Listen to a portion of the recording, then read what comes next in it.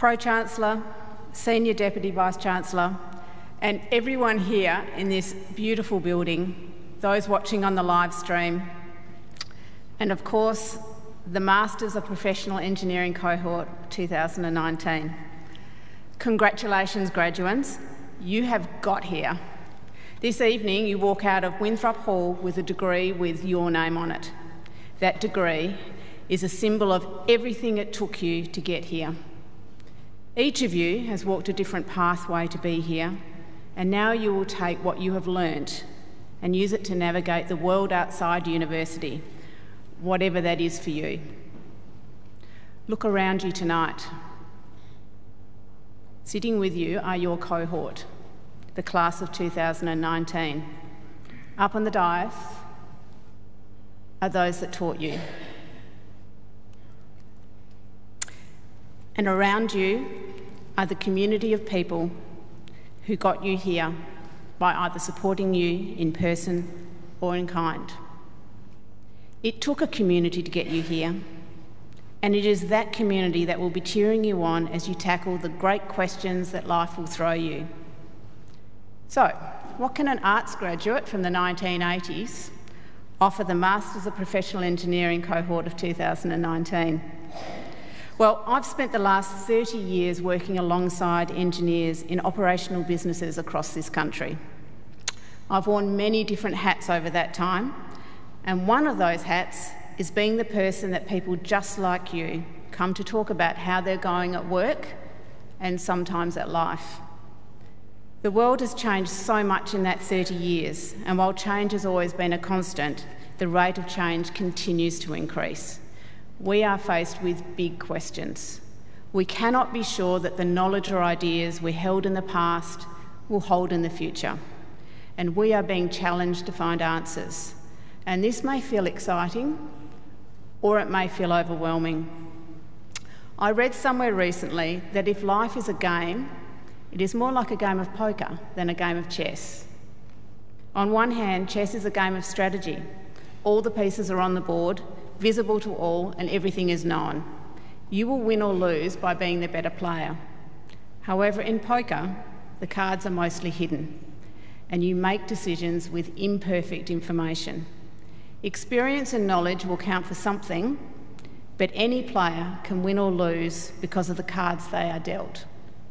And the real world is one of making decisions with imperfect information in changing circumstances and dealing with the cards you are dealt. Through years of coaching and mentoring, I've noticed that there are things that some people do that enable them to navigate and thrive in this imperfect and sometimes messy world. And so tonight I want to talk to you about three things that I've learned from those people. One, accept that life will have ups and downs. I mentor a UWA commerce student, and a couple of months ago, we were sitting in a cafe on campus, and he said, How do I have a life that goes like this instead of a life that goes like this? It's a common question. Unfortunately, life doesn't work like that, and everyone's life is way more complex than their Instagram account would suggest. The first step to thriving in an uncertain and ambiguous world is to accept that it is uncertain and ambiguous. Instead of expecting a smooth life, expect an interesting life in which you will have great moments and the odd curveball. The people I meet who thrive in this environment tend to anticipate and plan for as many curveballs as they can think of, even though they hope they never eventuate. This may sound dark, however, having a response plan will help you smooth out those bumps. And even if it doesn't, then make sure you learn from them and use that knowledge wisely. And if you know someone who's experiencing a curveball, be there for them because that's what community is for. Two, be curious and ask lots of questions. Our brain is wired to develop shortcuts. These shortcuts help us filter out the millions of pieces of information that flood our brain every day so we can manage everyday tasks without our brains exploding. So it's harder to be curious than you think. Your brain literally tries to prevent it. And when you feel that you know something for sure, You are hardwired to reject anything that tries to counteract that. And so we can miss critical information that can help us. So I'd like to set you a challenge to counteract that. Next time someone says something that you disagree with, instead of responding with your view, get curious and ask a question. And keep asking questions and questions only until you feel you understand their view. Leading questions are not allowed. This will require practice and a fair bit of patience. However, if you do this, I promise you, you'll be amazed at the perspective it will give you. Three, and this is very important play well with others. Contrary to the image of the lone genius, the big questions will not be solved by yourself sitting alone.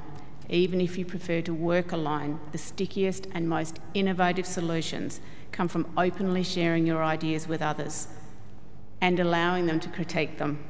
If you want to make a difference, get comfortable with being uncomfortable. Build strong, long term relationships both within and outside your field. Be the person who opens your circle and lets someone join your group, and you could practice that later on tonight at the reception.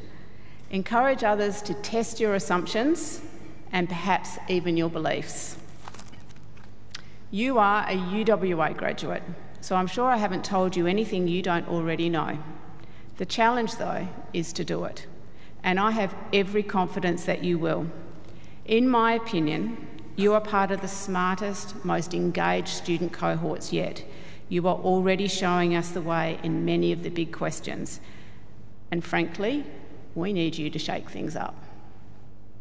So walk out of here tonight with your hard earned degree and your head held high.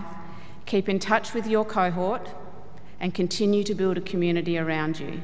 Keep your ears listening wide and your mind wide open. You will be awesome, and I, for one, am looking forward to seeing the results. Thank you.